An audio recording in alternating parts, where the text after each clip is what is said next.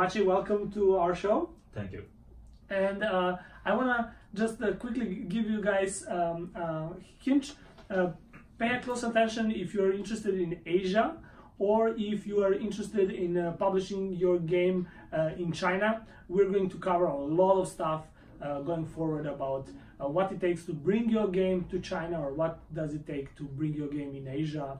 And we're going to talk about localization and the government policy and uh, how to scale your game. I think one of the very important things these days, uh, especially in this crowded market, when you have a good game, how you can scale. We're going to be back in a minute. Check the description below if you want to join our community and meet awesome people from the game industry. Maciej, let's start from the beginning. How did you end up in uh, game industry? How did you start making and developing games? And uh, what what made you actually do gaming in the in first place?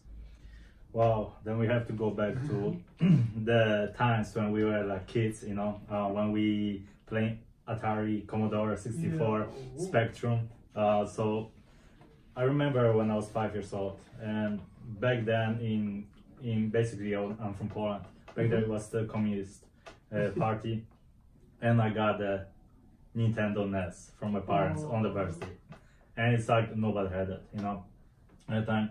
So me as a five years old, so I plug into the you know 14 inch TV, you know, basically working. And the first game that I remember playing was Contra. Yeah. Oh, So that's the original, and I got really hooked.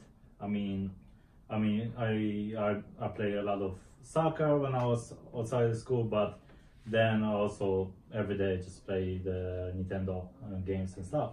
And then I then I got uh, lucky to get Commodore uh, 64. I went to Amiga, Spectrum, Atari. Then I got my first PC uh, a bit later. It was four, 486. Um, let me ask you. In that time, Yeah. Nintendo was competing with Sony, right? Sony had uh, uh, some, some console, Right, uh, but there will be a time that uh, a bit later, Mm-hmm. um, when I was getting Nintendo, first Nintendo, about it was about 1990s, Mm-hmm. and the first Sony was uh, late 90s. So we still It have a, Sega. Sega Yes. was competing with Nintendo Yes, in the was. days. it was the, but it's still a bit uh, gap. Uh-huh. Uh, Sega will be comparing maybe with Nintendo, Super Nintendo, Mm-hmm. and uh, the newer generation, which I never had a chance to get into Mm-hmm. because at the time I went more into Amiga, uh, 500, and then after that PC uh, market. But to answer your question, uh, how did I end up in the gaming industry? Because of course everybody plays games, right? Yeah. Um, when I was about uh, 10 to 12 years old, I was um, I was like the one, the only kid like in the block that actually had an internet connection stuff back then. And that's the time. Remember, it was no Google, no Yahoo, nothing. We used to do searches on Alta Vista. So Uh, what year was this? It was about uh, 1996 to 1998. 60.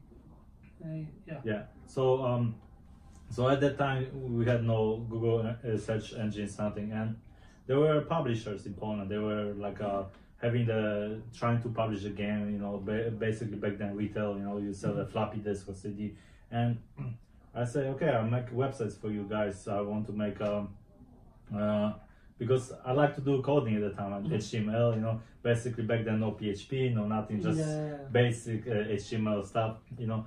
And I I started making some websites for the game, so I was involved with the community. Uh, I helped like a CD Projekt at the time uh, do some websites for their games, like with the um, with the uh, games like uh, Airline Tycoon, you know, stuff like that, uh, which I remember the most. Um, and that's what got me involved. And after that, I moved in. in I had my website. You know, the a TV came to my house, and the and the and the radio station. They asked me like why I was like 12 years old and doing this stuff, and I say I'm getting free games, and uh, this is something I enjoy. There's nothing better like 12 Yeah, year old I know, being in the game industry Yes. at that age, right? That, that must Yes. be wonderful. And that's that's about 20, 23 years ago. So. Oh, wow. And from that time, you know, even though back then it's like a kid, Mm. it's a passion that you do. And you know, I basically my whole life I know exactly what I want to do. I want to always be involved in the gaming. So let's move forward. Um, Mhm. Back in uh, around 2000, 2006, uh, 2012, I've been, uh, I've been. Uh, sometime I was in the US. and Mhm. sometimes I was in Taiwan. Mhm. And uh, basically in Taiwan, I was involved with uh, the main company I was involved with uh, Tesoro, Mhm. Tesoro Gaming uh, techno- technology. And this company uh, used to be owned by i1. And i1 is the manufacturer, number one manufacturer in the world of uh, gaming keyboards. Mhm. So companies like Razer, uh, SteelSeries, uh, Asus, uh, ROG, they all make keyboards from them. Mhm. Mhm. And basically, the guys uh, ask, uh, were in charge of the uh, Tesoro, and they asked me to make a brand. So entered the company very quickly. I got um, uh, promoted all the way to the acting CEO um, because the last CEO left. They had no replacement. So over one year I was there, and it was mainly the hardware part of the gaming, but also esport. Mhm. And at that time, like um, a major corporation with uh, Navi ga- games. Mhm. Uh, Yeah. yeah, Navi, everybody knows. Uh, Virtus Pro. Mhm. Uh, this is before they got sold out, you know. Uh, Mhm. So back then, we, uh, we are the main sponsors of them, together with uh, for Virtus Pro. Uh, Virtus back then was BenQ, and for uh, Navi was of SteelSeries. So you can still see like old uh, jerseys with our logo on it. Uh, so and also, of course, I was sponsoring a lot of smaller teams like Refuse in Greece, uh, Infuse in UK, you know, uh, mousesports. Uh, we did something. Um, we did try to do something with Fanatics, you know, uh, the Fnatic Gear, but it didn't work out. But we're a lot of involved and a lot of uh, uh, tournaments on ESL gaming. And then back in the about three to four years, four years ago, I had a call from um, uh, Wanda, and they say they are acquiring a company called Hulai, and that was uh, and asked me to come to come to China and be basically the director of the business development. So which year is this happening? That happened around early 2016. 2016. Yeah. So you're leaving Taiwan to come from Beijing to Uh, work on a mobile publishing, basically right? mobile yeah so see like i was doing the hardware stuff my heart Mhm. is always in the software Mhm. so once i had this opportunity i took it without hesitation you know um, so basically now i'm in uh, uh, china sorry in beijing Mhm. and uh, now you mentioned like i'm between jobs uh, actually uh, next week uh, I don't know when the video will come out, yet, yeah. but next week I'll be announcing. and It's going to be something very big. Yeah. Um, so it's been planned for some time already, and um, probably I will leave a comment later I will, Yeah, yeah, in your yeah. video and say, guys, this is where I am, and of Yeah. course you can check my LinkedIn, you know, that, uh, as well. yeah, but, uh, but that's not something that like between jobs. Just it's a it's a planned move to uh, yeah, I, I, I know bigger. we had a talk before this, but I want to Yes. keep my audience uh, waiting for the right for the right moment to get information. Um, so what I want to what I want to give to my audience, like a hinge, also is so in 2016 you are moving to the mobile publishing, right? Right. It's going straight to the mobile publishing. And uh, uh, prior to this, did you do any kind of uh, because you were in a hardware business, right? right. Did you do any kind of uh, mobile publishing? Did you do any kind of game development Right. before, or this was like fresh for you? Well, the gaming market is very overlapping. Mhm, To yeah. to to just say at least, right? Um, what we did is we had a lot of uh, business deals with uh, publishers and developers. Mm-hmm. Basically, like it's a uh, cooperation between, for example, like they give us some stuff inside the game. We put some QR codes on our products, you know, or we have skin the keyboards or mouses of this kind of In the game uh, team, right? Yes. So you get more players. To, yeah. So, or even the keyboard, we make it like a League of Legends keyboard stuff like this. If you remember, long, long time ago, like SteelSeries have their first like World of Warcraft gaming keyboard. yeah. You know, that's something that uh, our factory back then did that. You know, Mm-hmm. so that's kind of stuff like you stay involved. You know, but if you ask me for developing, you know, this is the straight in. You know, straight in and. Well, the good thing is that I have a background, so this is something I love. Mhm. So I got inside the development system, and uh, I was. Uh, it wasn't difficult for me, you know. You you already understood the whole psychology of uh, Yeah. of uh, the, the game industry. You were a gamer yourself, Right. So you were not so distant from the entire uh, uh, entire industry, let's say, Sure. right, of development. And um, when it comes to publishing, you already had established uh, connections, and you knew people who who were publishing games before, who were doing marketing for the games. So like the new job was just like another step forward in career Right. development, right? Right. And basically in development, since I'm so involved, I still do consulting. Mhm. Um, I'm majoring both in mathematics and economics, so Mhm. I'm pretty much nerd for numbers. Mhm. So I do sometimes it's like uh, help um, gaming developers, especially uh, do the uh, numerical designs for their uh, economies and stuff. Mhm. And my main uh, strength is in the games like RPG and uh, uh, strategy games. So Mhm. you know it needs a lot of balance, balancing. Yeah. So even though I never like actually did developer side, I still did consulting for that. So to balance games, and there are a few games that are actually um, on NDA. Uh, cannot really mention it, but uh, there's few games that will show up uh, within one two years. So you will have you will see me in the credits for that. Yeah, So, awesome, awesome. Yeah. So, uh, can you tell me a little bit about China? Let's say Sure. about China, like top hundred games in China. Um, I'm talking about mobile games mostly. Like, how hard is it for somebody to get into like, uh, let's say we have a guy somewhere in Europe or States or anywhere, right? And now these guys are sitting there designing the game. They want to get in the like uh, Chinese market. How hard is it for them to get to the top hundred uh, apps Right. here in games? Well, um, the question first is um, why would they want to get to 100, Mhm. um, and should they? Because um, it takes a lot of uh, actual resources together, and basically, um, if a company like, uh, for example, from Europe wants to be in top 100, uh, probably they're giving up most of their revenue to the publisher in China. Mhm. So up to 90, 95% of the revenue will go to the publisher. But in, in exchange, the publisher will put the marketing efforts, everything to make the game at the top. Uh, doesn't make economical sense. Maybe not, you know. So uh, the developer, it's job for them to actually calculate what makes sense for them. Um, before the interview, I was talking about uh, this uh, example.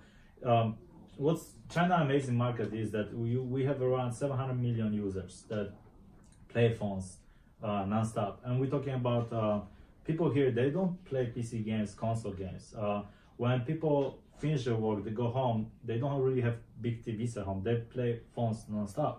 So the average duration of the user in China is very long, and at the, at the same time they're spending a lot of money because they are keep playing the mobile games to the point the government in China wants to limit the n- hours.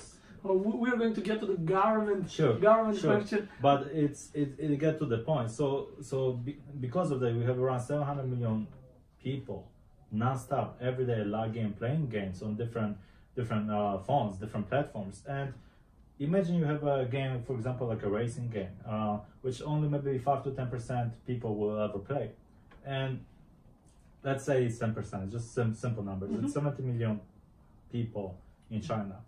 An average person in China will spend about the same amount of money as people in US Mhm. based on the revenues, you know. So now we have 70 million users want to play racing game. Do you need to be one, top 100 overall? No, you just need to be top 20 in racing uh, category in your own category, right? in your own category to actually make it big. And let's say out of 70 million, only 1% people see your game. 700,000 users, they're paying very big money. So if you're a small developer and you get the 1% of the people that like racing game, you you make more money than maybe whole whole world altogether. So that's a yeah, that's a So let me just repeat this once again. So we have seven, seven hundred million people in China daily active, Right. right, on phones. And if we say ten percent of the market would be like seventy million people in, let's say, niche of racing games, something example, like yeah. And uh, what what Maciej is saying is, if you guys can push your game in this niche, in this market, you are looking at some uh, crazy numbers. Crazy But numbers. This, this is this is something. So how would somebody come here and let's say if they have the game and do that without a publisher, with a pub- local publisher, uh, co-publisher? How, Right. how would that work? Right, What's so- your advice for for guy? Let's say somebody now just have the, the racing game and he's thinking about China. Uh, so basically, they need to understand what they want to do in terms of the scope of the project. Um, so we are talking about like uh, if they, the game is like uh, de- developed by very very big developer in Europe and US, or it's uh, developed by a small, uh, medium-sized company, you know, because they will be talking about the uh, two things. Um, ba- basically, first one is the revenue share. So how much revenue shares uh, that they are giving to um, publisher, and on average, uh, minimum is seventy percent to Chinese publisher will go just like this. Why? Because uh, the usually the Android stores in China will take about fifty percent uh, revenue from that. So important, important for everybody to understand right out of the, the, the bat is that Chinese store, like Android stores, the the, the carriers that Right. operate store are taking fifty percent of the in-game purchases, right? Makes sense, yeah. Yeah. Okay. So uh, of one dollar, you got fifty cents left, and that fifty cents, thirty-five cents will be to developer, uh, sorry, to publisher, and fifteen cents will go to uh, developer. So you will get around fifteen cents out of the dollar. That's your revenue, which again, when we're talking about the huge DAU, MAU in the stores, put together is a very big number. Uh, but when you get into the bigger and bigger publisher, your revenue shares become smaller. So when we're talking about top two uh, publisher, for example, Tencent is, it could be as low as five, ten percent revenue shares, but it could get you to the top spot in, at least for the first week. And if the game perform well, they will keep you there. Why? Why they can do it, especially for example for a company like Tencent, because they own the biggest uh, platform, so it's their own traffic, you know. Mhm. So so it makes sense. However, it only works for the game that is making big money already, or they will not accept it. So, what's your second suggestion? Is you will find smaller publisher, you know, like um, you go to like this was the number one option. The second option with a smaller game is not going for the premium publisher. Right. So if you have a small game that's not super proven to have return on investment, you're not looking at Baidu, Tencent, NetEase. You're looking for a second tier publisher. Yes, smaller publisher, and and what the reason there are two reasons why. Because the first one, the big big publisher, like you just mentioned, you know, they not they don't have time or will not even pay attention to a game. And the second one is that uh, if your game is small, nobody really want to push it. So you'll be paying more attention to more organic users traffic. So those smaller publisher, they might not really invest that much money money into the marketing, but what they can do is they can help you to get the, all the government approvals to get your game in the Android stores in China, and then and then based on that, they can help you get some features, and then you get some traffic from that. So it will not be it will not be 70 million users going to your game, it will be one maybe one percent of the 70 million, which is 700,000. But if you imagine you're a small developer, that's still a very big amount, you know. And with a smaller uh, small publisher, you your revenue shares can be as much as 30 to 50 percent. So it's really depends. It is the one thing is the revenue share. The second one is MG, and the What do you mean by MG? Uh, MG is basically uh, the minimum guarantee, Uh-huh. and we split it into minimum guarantee, which is recoupable. We uh, basically, um, uh, I tell you, I give you one million dollars, and then the I will not give you revenue share till I you make make a million dollar back. back. Yeah, and there's a license fee, which is I give you one million dollars, but um, I start giving you revenue share right away. So the one million is just I give you and I'm gone. So it's a more risk for the publisher. Mhm. So let, let- let me go once again for, for the, the guys who are looking this for the first time. So we mentioned like a minimum guarantee MJ, right? Yeah. That means that um, uh, somebody who wants to publish his game would make negotiations about what's the minimum guarantee from Yeah. a publisher, and the publisher would come out and say, "We can guarantee a million dollars of sales Right. with this app." And then they have two options, right? One is pay a million dollar in advance to the developer and start publishing game immediately. And when- when they reach a million dollar in profits, right?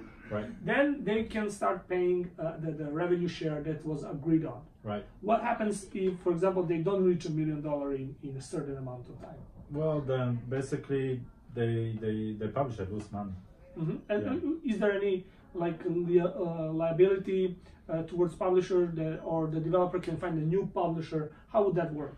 It depends on contract to contract. When I sign the contracts with the developers, what I also often give them is like a basically a minimum user guarantee or minimum um, uh, MG, right? Mhm. And basically, we will con- construct the contract that we pay some amount in the beginning, like when we sign, some some con- uh, some amount when we the game, and some contract at the end of one year. So within the one year, if for example I promise you I'll give you one million, but the game just hundred thousand, then I have to pay you the the difference. Yeah. Yeah. So so it's um, but this only happens usually when your game is extremely successful and your company is top thirty to fifty uh, global company Mhm. in the world. If we are talking, you are like a small indie company, you know, you can get MG, but it will be very very small amount. Mhm. Um, Let's say what's the smallest uh, uh, amount of uh, uh, that you had in, in for some indie developer? Okay, not for me because uh, we were only working with the big co- uh, games, but the small small India is about ten thousand US dollars to fifty thousand US dollars. So uh, let's once more refresh everybody on Wanda Group, right? Yeah. That, that was doing publishing. Your company is considered to be one of the, let's say, not the top publisher in China, but one of the highest Right. uh, valued publisher. You had a good reputation. uh, You published some of the amazing games. Right. Um, you, what was the minimum deal that Wanda Wanda did, for example, while you were there? Well, when we talk about MGs, we would say one hundred thousand is very cheap Okay. US dollars, and their MG is like one million, two million. Yeah, uh, Mhm. that's about. Um, but let's not be a little bit. Let's let, let's not be crazy about the numbers too much because uh, because the market is really inflated. Mm-hmm. So if you are a developer in Europe or in US or mm-hmm. Middle East or whatever, and if you have one of the best games in the world right now, mm-hmm. top top five grossing in the world, you cannot you still cannot expect MG more than three four million in. China. Yeah. So, So- like, like the cap would be on like three, four. uh, and that's already already way too over, you know, Mhm. because uh, because there's still all risk is on the publisher, because nobody guarantees that a Western game will success in China. I mean, how many Chinese games success in US? Mm, Exactly. fair point. Yeah. So so so so so I I I seen a lot in negotiation. They will come to me and say, Maciej, this game making 100 200 US dollars per paying user. You know, why you give me such a small MG? And I say, look, because we can't, but we can offer you guarantee users amount. You know, and it will we say we guarantee you register user, not but register. So they have to go inside the game, finish the tutorial, whatever, whatever you count as register. Mm-hmm. We can guarantee you this. But are those users gonna spend money? We don't know it yet, you know, unless we do some soft launch. But we can't do launch in China without proper um, uh, government approval, Mhm. unless you're doing the soft launch without monetization. But then it's it's business. It's all about money, you know. So so basically, what's the point of the, the of the publisher to see the metrics of monetization? Uh, retention, uh, yeah, cool. I mean, you can have a great retention, but that's not the main point for Chinese publisher, unless your game is based on the advertisements. Mhm. Yeah. And uh, um, well, we're touching a, a, a new, new part here. What's your um, approach towards in-app purchases and advertising in games? Like Mhm. which ones make more revenue, and how, how do you view that? Mm. So um, basically, you you've been seeing the changes in the market. Uh, it's it's fl- fluctuate a lot. When the gaming market started, uh, you know, everybody was very very excited about hyper casual games. You know, you remember your first iPhone, you know, and everybody just played those little game for two minutes and then stop playing it. Then we went to inside the games like Game of War, you know, um, which are much more uh, uh, mid-core to hardcore games uh, for mobile, and they make tons of money. But the, now you see the trend is going back to hyper casual. Everybody's super excited about it. You know, like a, or just make a game that lasts for some lasts for one hour and the game is dead. Some lasts for three days. You know, uh, that you don't make money long term. You make money today, like super quick ROI uh, return Mhm. this is not gonna last. I mean, um, it's cool to have few ideas of the games, but the users will get tired. I mean, user get tired when I play for 20 seconds and I see 30 seconds commercial, Mhm. and it lasts for short term and then it just bursts, you know. And uh, so in 2000, uh, 2017, you see Playrix come up with a game called um, uh, Gardenscape. Mhm. And Gardenscape basically was uh, they first time they released Gardenscape, it was uh, it wasn't good, so they re redo everything. They redo the whole game loop. You know, they it wasn't even match three game before. You know, Mm-hmm. and they changed it into match three game plus a story plus you build in your garden and stuff like that, and it was an amazing success. So basically, you saw the casual game going into casual midcore with um, with not much attention to advertisements. They're still making okay money on advertisement, but it's going into the in-app purchase. Mhm. So basically, uh, to answer your question, you have to understand what's the genre of your game. If we are talking about light games, usually it's advertising. If we're talking about the uh, mid-core games, hardcore, it's usually almost all is um, um, In-app purchase. uh, purchase. But then if we're looking at the games like um, uh, games from Rovio, uh, Angry Birds, or uh, Fingersoft Hill Climb Racing uh, 1 and 2, or even uh, Subway Surfer, you know, you will see that actually surprisingly amount is in a purchase. It's like sometimes it's like 60 70% of the whole revenue coming from them. Um, why? Um, people sometimes are not afraid to spend one US dollar just to get rid of ads. you know, if they really like the you, game. if you like some game, yeah. And Exactly. this is a tricky question that I see in many games. Many developers do not give option to people to opt out from ads. Right. Like for, for a cost of a dollar or two, depending on, on a, how popular the game is, they could offer people to opt out for ads, maybe even for a day or a week or permanently, right? Right. That, that that's one of the best ways to monetize because somebody maybe want to play this game for a week and he's willing to pay a dollar or Right. two. Otherwise, if, if you're just bombarding them with, with video ads and Right. reward ads, they, they, they are simply going to delete the, the game. Yeah, and this is a good question. Uh, this is a good comment. You know, I see a lot of developers making a game, uh, and they need to earn money from the ads. Like that's their all monetization strategy. But the guys doesn't think about how to hook the player into the game. So when you see like successful game, like for example match three game, you know, for example King, they don't even force you to watch ads, and people play them, and then end up playing playing the ads because they need likes, for example. Yeah. So so you create the option for users. You don't force them to watch. But in in case you don't know how to make a good game loop, uh, you can still force the player, but at least give the player five to ten minutes after install. Don't don't see ads. Let them get hooked into the game. Let them experience what the game about. Because when I play the game and I and I'm in the tutorial and I don't know how to play the game, after 20 seconds, I'll die because I'm in tutorial. I don't know, and then I see 20, 30 seconds ads. The first thing is I'm gonna delete it. Why? Because you're forcing me to watch ads because I die in the tutorial, and that it doesn't really make sense. Yeah. Yeah, I'm in the learning process. I'm in the process that I'm trying to get hooked Mm. for the game.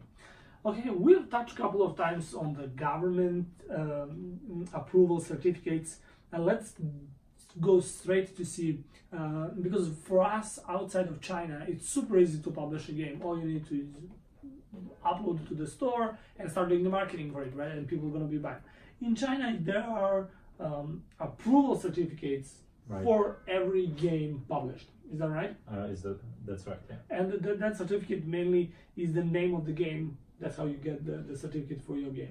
Uh, there are two certificates basically. One is the copyrights uh, certificate, and for this one you can apply with an agent. You don't need you don't need a, a publisher, or you can uh, ask publisher for you to do it. Uh, basically, the copyrights will uh, will say that you have the rights to the game, and the game will need to be in Chinese, basically. Uh, so it's a very simple process. And the second one, once you get the copyright uh, approval, then you can apply for ISBN. Mhm. ISBN basically is the uh, uh, Chinese uh, approval process, which uh, recently is frozen. Um, uh, so Frozen. You mean you mean nobody can get the, the license today for China? uh, basically, um, it was since March till around December uh, 25. It was uh, blocked, uh, so no games could, could get even approved. Since December 25th, um, uh, the the government reopened the ISBN process, but just in the in this month in March, um, uh, the government say we have too many games in the backlog, about 5,000 games, and they say we don't accept new approval till we finish all the games that previously uh, were uh, uh, Waiting to be published. In exactly. China. So now, so now the government is approving uh, games every week. We have a new ISBN about 80 to 110 games every week. Recently, uh, the backlog is around 5,000. So Mhm. it would take maybe half year, maybe one year. So at this point, right, we are in beginning, middle, late middle of the March. We have at least six months where no new game is going to be approved because they're cleaning the backlog. Yeah, they clean the backlog. Which, if you're already inside the backlog, it's a good news for you. You don't have a new competition. But if you haven't applied for the game, you have to wait till the government. Uh, two two reasons why. One one reason is because you got uh, the government is changing the policies uh, for the for the video. Uh, for the for the video that you need to apply for the when you um, when you make a presentation, right? So it's require video, it require the presentation of the game, require all the all the um, um, character dialogue, uh, and so they changing all the small details within the application process. So that's that's one. The second thing is like uh, uh, the the whole process they want to simplify in the long term. Mhm. So this is the one one of the reasons they changing the process. The second reason is uh, they uh, because of the backlog. Mhm. So so now now it's being paused. Uh, So we I, basically, they, they want to get more specific with the, the, the, the every individual game, so they can clearly have deep insight what game what is happening this Right. game. And uh, you you think after they finish developing this approval system, it's going to be faster for the games to get in the market um, that comply with all the regulations, right? well, that's what they say. you know.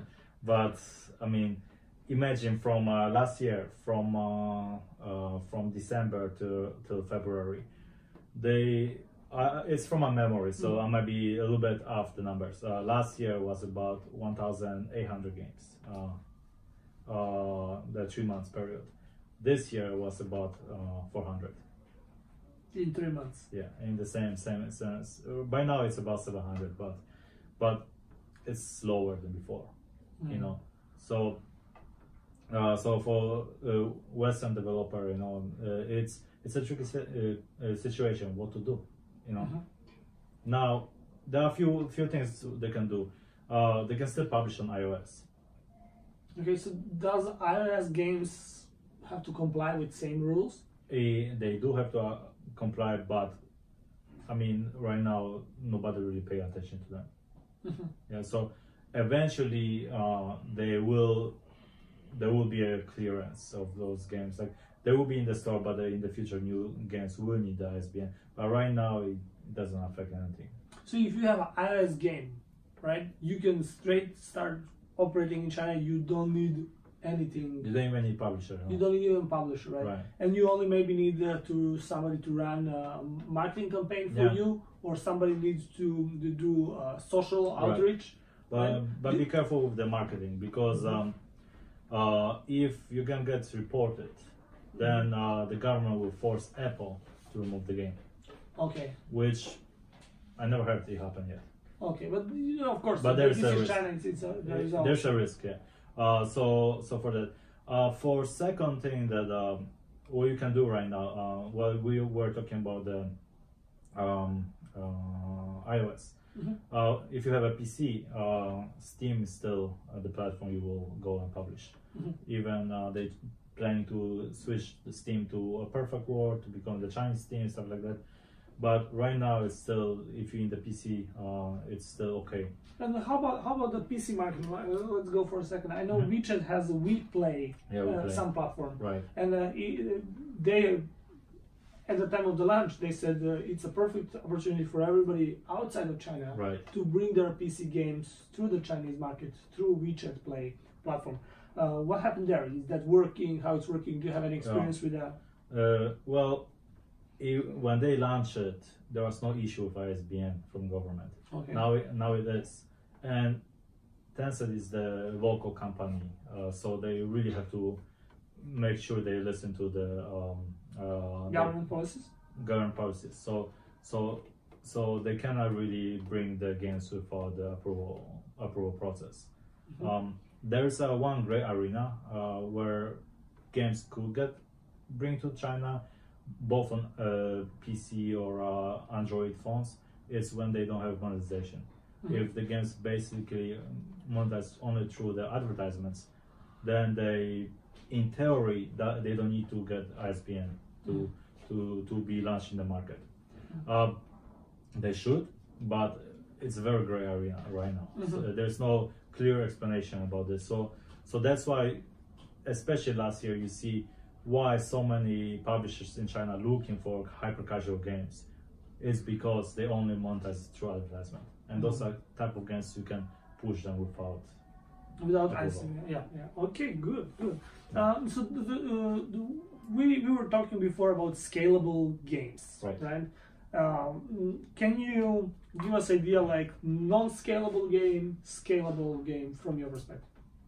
Um, everybody dreams about game that can last for three to five years.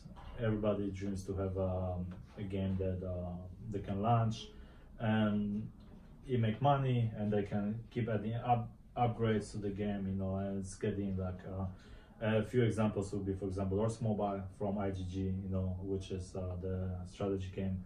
Um, uh, any type of uh, King games, you know, Supercell games, you know. Um, that's a good example. Like Playrix, I just mentioned uh, be, before. Those games are scalable. Those games are they can grow, uh, and once you reach the final level, or once you reach the, you know, like maximum power, you you're never gonna get there. Why? Because the developer is gonna be faster than the player in terms of development. And if it doesn't happen, developer should decrease speed of the player um, uh, progression. Mhm. Uh, so it's basically again number uh, number design. Um, non-scalable games are basically the hyper casual games. Um, it's basically that's it's uh, it makes money. Uh, uh, the business uh, structure, you know, you create like every week you create two games. As a small developer, you have five ten people in your in your office, and you every week you make one two games like hyper casual, and you push like hundred games per year, you know, and you just show it. You know, you by a little bit traffic, you see if they have uh, like a organic traction. If they do, they get big. You earn some money on it. You know, maybe one game out of 100 is successful. You can pay the salary for everybody for one to three years. Mhm. It's a, it's also a business model. It's Yeah. a little different, uh, but but both are very risky. You know, like a game industry. Um, scale scalable process. You know, we, when we're talking about the business, uh, from the publisher perspective, uh, currently um, our revenue shares, uh, after we pay all the fees or the marketings, all the third-party channels, third-party uh, tracking systems, you know, actually the pro- the the profit is about two to four percent on a successful game, and this is very very low. You know, um, what about developers? It's the same thing. After they pay the cost for the tools, you know, cost for the salaries, offices, it's also very low. So there's very small uh, margin of error, very very small. Well, I know and how I can structure this is the highest fee at the beginning goes to a platform, right? They are taking up to 30%. We, we see here in China some are taking 50 Right. and we're not even going to talk about Southeast Asia where Right. it goes up to 70 right Yes. per, per in-app purchase so uh, uh, if the store is taking like those 30 we were talking about and um, you have uh, i remember once in, in conversation you mentioned uh, that the security is taking uh, 10% and the analytics take another 10% of the of the revenue. And then you have a hosting if the game is scalable taking an additional one. And then you have a publisher. The, the, this really boils down to uh, uh, working for very small um, revenue that's left after Right. publishing a game. Now, Sure. I is, is there is there a, a, a future where you're not using all these services and uh, is there some freemium solution to some services is there any way that uh, uh, game developers basically can let's say unite right. to have some services or avoid paying some services in some way Well, um, basically, what we're paying is tools. You know, um, suppose you're making a, you're recording the video right now, mm-hmm. and you will be paying Adobe to make the to edit the video, Yeah. for example. Yeah? Yeah. So every month you're paying the tools. Yeah. I mean, we need those tools. there's a, there's option you can make those tools yourself. Mhm. But I don't think you will spend you know years just to develop a video editor. Yeah. So basically, a developer has a choice to um, use the third-party tools, for example, analytics, you know, like Mhm. AppsFlyer, like Adjust, you know, like Kochava, or they can make their own, Mhm. you know, and to make their own, you know, they could do that in, in theory. They will have to go to Facebook and have a use the BD power to uh, connect to them. They will have to go to Google. They will have to go all those Big companies. hundreds of uh, third-party advertising uh, channels and connect to them. You know, in theory they could do it. You know, I mean, uh, my previous company, right? Uh, we had our BI system, Mhm. and it's exactly the same that shows the third-party analytics. Why don't we use our uh, BI system? Because we don't know where the traffic come from, and Mhm. there's a different. And the third party they will tell us this traffic comes from Facebook, this traffic comes from organic, but our BI we know the country, we know the age, we, we know everything, but we don't know from which channel. So that's so in theory we could develop something like that, and then uh, and then uh, use it and then don't pay those service. So, but it's probably most most likely the big companies like uh, and we're talking about like the biggest one will be buying those analytic companies eventually.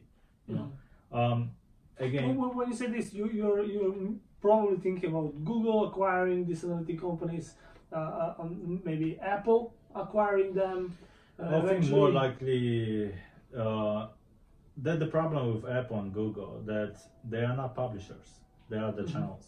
Mhm. You know, but if we are going into the next few years, you will see the channels starting to become publisher. You know, um, and we are talking about the No, Google. they, they have to be published. They're taking thirty percent of the revenue, Right. right?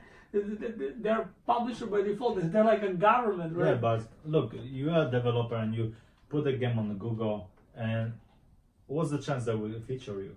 Or Apple, what's the chance that will feature you?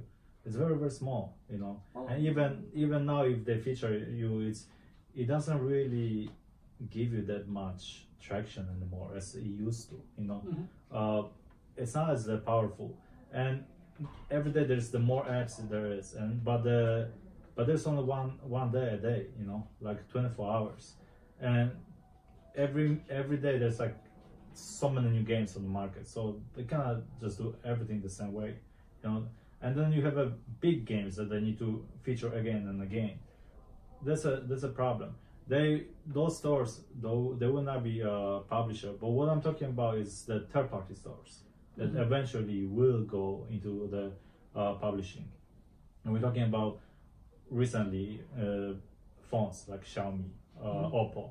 You start to see their BD people everywhere asking to bring the game to their channels. Why? It's because because uh, they want to grow competition to Google. Uh, Amazon is pushing hard, you know, uh, all these companies, and eventually I, I, I predict those companies once they develop very large uh, MAU uh, monthly users, they will go into publishing. That's what Tencent does. They have the platform, they have their own traffic, and they also the publisher. Mhm. And those kind of companies will have enough money to actually acquire those analytics or marketing agencies or uh, uh, uh, KOL agencies. Uh, tho- those companies will will acquire them. Uh, third-party publisher, sm- small to the average size, they will still use third-party tools, and you will see the the market starting to segregate segregate a, a bit.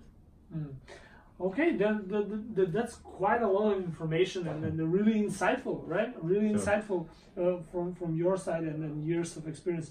Um, let, let, let's uh, just take a look maybe for um, a moment the newest news that just happened on GDC. If you're familiar with Google product coming to the market, Google Sure. Stadia, we just did an awesome video about that, and uh, it really explains how it works. We had many um, questions, but what's your take on cloud gaming, Mhm. and uh, what do you think about Google Stadia uh, and all? So the cloud gaming has been on and off for many years. Actually, Mhm. it's not a new thing. You know, um, the excitement uh, shouldn't be there, but there is, and the reason why is because this is the first time in our history that a big company, like number one company, taking taking over this. And uh, what I'm talking about, number one companies in terms of servers, in terms of cloud power. You know, if it was IBM, I'll be excited. If it's Google, I'll be excited. Even if it's the you know Wanda Cloud, I'll be Mhm. excited. You know, or or other company. Um, why? Because we have the power, or those companies have the power to actually make it happen. We had PlayStation try to do that before. We had the Xbox. We had a few years ago another company tried to do it, but it was they didn't have enough power to do it. Enough When you, you're talking about computing power, cloud power, uh, cloud, user. yes, ban- bandwidth, cloud power. Uh, but this is one thing. The second, everybody always worries. Sure, how much internet connection I'm gonna use up, right? Mhm. Can I, can I actually handle it? And the answer is yes. 5G is coming.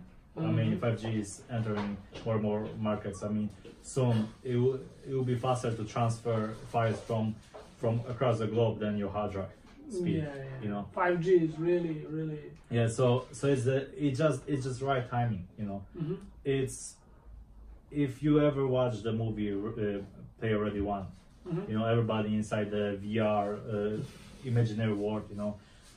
That's before this can happen. You need to have a cloud-based gaming system Mm. because it's uh, it's all it's all digital. It's all in the cloud Mm. you know at the same at the same time you know uh, uh, the like a cur- uh, digital currency coming out you know uh, that that people um, be be like a global village you know Mm.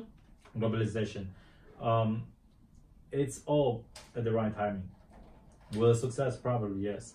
But we still don't know any details like how it's gonna be monetized how it's going to be evolved. I mean look I can like they show the Assassin uh, Assassin's Creed, Creed, yeah. game uh, in the in the demo, and my question is, do I still need to buy the game, Mhm. or do I pay like monthly uh, monthly uh, like a subscription? From from what I heard from some of my friends from Mhm. Google is mm, that uh, the, the idea is that's only going for be, to be for AAA games, Right. for uh, very high end games, and um, the, the the whole idea is that they want to go after the, the highest market, especially esports. Right. The, the, their main main competitors are consoles and uh, Twitch Right. streaming service, right? They want to push this, let's say, smaller players Right. out and, and dominate this part for, for the time being in AAA. Yeah. Yes. Sure. But again, the how they charge a player, because imagine like I buy uh, right now I have to buy the Assassin's Creed. Mhm. and I go on Steam, uh, 60 US, boom, I get the game, right? Later, do I have to pay subscription every month to have access to that? Or do I need to buy special DLC to get cloud access? Mhm. That means I have to spend more money as a player. So it's not clear yet how they're going to do it. And they also didn't announce your, uh, Asia to be launching. And why not? So so so the company like Tencent will just take it over, you know. And we have a one side is Google, one side is Tencent. It's good for business, not good for the users, you know. So so uh, my feelings about this are mixed. You know, I'm very excited. You know, finally, I mean, I mean, I, I bought my PSP a long time ago just to play the PlayStation 4 games when I'm in the bed, you know. so um, my PS4 is downstairs, and I'm uh, on- in my house on the third floor. I'm playing PSP, like uh, all the cool games. Perfect. But now I can do it on the, on the phone, you know, just connect my controller. Per- perfect. This is e- every time I wanted to do it, you know. Mm. Um, I actually was thinking, can I find my like super old, like uh, uh, Intel Pentium One? Yeah, and try that one. Yeah, try to to to that one uh, if it's gonna work it, you know. No, but uh, the, you- you're touching the right point. I want to ask you is what do you think about the whole idea of hardware independent, right? Mhm. Uh, because this is going to be cloud independent. That means you never have to upgrade your your computer anymore, and you can get awesome graphic, Right. and you can have a great game experience. You're dependent on the bandwidth, and um, mostly that's it. Yeah. Um, I'm a big fan of uh, futuristic uh, designs, uh, ideas, what's gonna happen. And uh, later you can put in the comments below. Uh, there's a website called uh, Fu- Fu- Future Timeline, Mhm. and basically it predicts what's gonna happen our in technology progress. You know, Mhm. from now all the way till Matrix or Yes, yes. Terminator, right? Yes, and basically, um, this is uh, the step in evolution, not just for gaming, but for everything, for the medical, for the uh, traffic, you know, for uh, police. Uh, it's all going to be in the cloud, um, and it's a it's a good thing, you know. It's a it's a it's a good thing because um, uh, for for a user, um, you know, like right now, you know, we're carrying big laptops with us and it's very heavy and everything. Later, I, you know, they they have those portable phones that you can fold it. You know, later you can just have a, carry like a small device in your pocket, take it out. You have a screen, you can do anything you need to do. Mhm. You know, you can you can be productive anywhere in the world. You know, without carrying a book of hardware with you. Um, it's not good news for the hardware companies. If you're like a company that, that yeah, uh, focusing on the uh, consoles or focusing on the uh, gaming PCs, you know, Or if you're Intel that's making most of its revenue from selling yeah, newest and newest chips, and now a, a, uh, ADM is going to provide everybody with a enterprise cloud uh, Yeah. processors that nobody but upgrade anymore. but it's it's also different because now their business uh, uh, ways need to change. Right now, it's like back in the back in the day, everybody bought Nokia, and Nokia didn't move with the progress. yes. and Nokia died. I- now they need to change the business into the cloud. Mhm. If they do it, then they will grow. Look like IBM. Back then, they're just making the PCs, Mhm. and it was su- such a small business. Now it's one of the biggest company in the world, Mhm. and nobody know what IBM does. You know, it's it's true. So so. well, actually, actually, this is a great moment. Yeah. IBM is one of the sponsor of this channel, and this is amazing, amazing ad. Only the people in business know what actually IBM is doing. Yes, exactly. awesome. Yeah, I didn't I didn't even know, right? yeah, but it's like something fun. We have we have amazing partnership with IBM.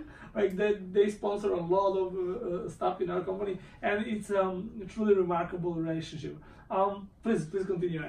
Sure. Uh, So, so, you know, it has to be in the cloud, like uh, whatever. And for the gamer, you know, like I had a conversation um, uh, previously, and, and and people say, so, oh, everybody say for 20, 30 years that PC gaming is dying. Mhm. And I told them, the PC gaming is dying, console gaming is dying, but the game is never going to die. Yeah.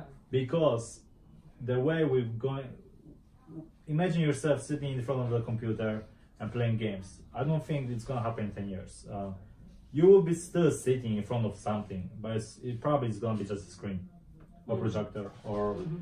virtual reality. But the hardware it's not going to be in your home. It might be in your home it might be in your uh, phone you know? Mhm. The is going to be going to nanoscale you know Mhm. it might be in the car it might be in your phone we don't know Well, from from my experience and my understanding, I'm expecting that hardware is going to get smaller and smaller and more portable, right and that uh, you will have some kind of projectoring or some kind of. Uh, I'm not necessarily convinced it's going to be VR. Mm-hmm. Honestly, I'm more convinced of the Microsoft approach of uh, AR, Mhm. uh, augmented reality, where you have a feed, video feed Right. that's uh, able to project something you are interacting with. Uh, because from everything that, that exists on the market today, nothing is getting user. For example, Facebook bet the company on VR, right and the, the, the Facebook is now mm, like so completely wasted Right. since acquisition of um, since acquisition of Instagram. They haven't made any hit yet, right? Right. It's unclear how they're gonna monetize WhatsApp. There's Mhm. no way of monetizing it as it is now right and a lot of people are moving away from Facebook in a certain way. So um, I'm really curious about what's Facebook going to come out uh, Mhm. with, what their um, secret weapon in this war is going to be, because from everything we mentioned, we can clearly see Google pulling, uh, Right.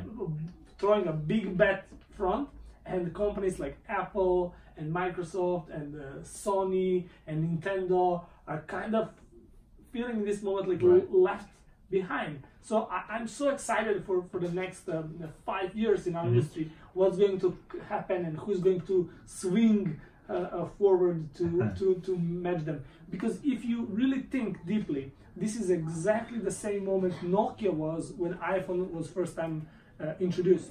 The people gather around Nokia were mostly like talking, "Oh, iPhone is, Yeah. is, is not gonna do Gadget, anything." yeah. gadget. And uh, it- I think the, the more more people in our game industry today are saying like, "Ah, this Google uh, streaming might uh, not work." Right. And um, I think that that won't be very wise. In, in Sure. I mean, um, I'm not sure if you know that Nintendo, uh, the new CEO, he mentioned that uh, the Nintendo Switch is probably the last console Nintendo will ever make. Mhm. So he pretty much predicted it's everything goes to cloud, and instead he said we should focus on our content. We have amazing IPs, we can monetize it. That's the idea. Now, Sony and Sony and uh, Microsoft they don't really need consoles Mhm. because they don't really make that much money on those. How about Xbox? Uh, they don't make much money on those consoles. What they make money is from platforms. Mhm. You know, they basically every time you buy a game, they get the percentage of the game has to go to the just just like a Google Play on iOS. You know, it's the same thing. So the war will be about not the hardware. The war will be like who controls the online space, Mhm. and that's gonna be I think that's what we're gonna see in the next five ten years. And you mentioned about the VR. Um, the reason why VR like fail in my eyes, it's not because of the concept. The concept is amazing. Yeah, the concept is good. Uh, it's because of the, you know, it takes you ten minutes to put the damn helmet on your head, you know, and then once you successfully like, they ask you to uh, hold your control, and you're like, where's the control? You know, so you have to take it out, find the controller, and then put another ten minutes, and then you like choking on the cables. That was a big problem with the VR. Once it become goes to the cloud, computing, everything, and you just have a screen in front of you, that could work. Yeah, actually, uh, now when you when you start thinking about VR uh, uh, uh, cloud uh, might actually be a recipe Yes. that's gonna work. Yeah. Yeah, that that could be. That, That could was be. the basically original the Google Glass idea. Mhm. You had the glasses and you see everything. It, it was AR, but cover it, it become VR. Yeah, well, I think Google was betting at the time there was no technology Yeah. that could execute on it. But I think today somebody with uh, some Google Glass type of Right. concept might actually have a shot. Sure. And I think a lot of people would bet their money that, that that might be successful. Wow, this was a really amazing and insightful um, talk. I'm so glad you, were uh, our guest. Sure. And uh, do you have uh, anything you want to share for, for the end? Mm, just thank you everyone to if you guys still still here watching it. you Yeah. know, thank you for um, uh, listening to us speaking, and um, I'll be happy to uh, jump in on the uh, comments and answer any questions if you have. Yeah. Okay, guys, you heard a lot insightful uh, informations.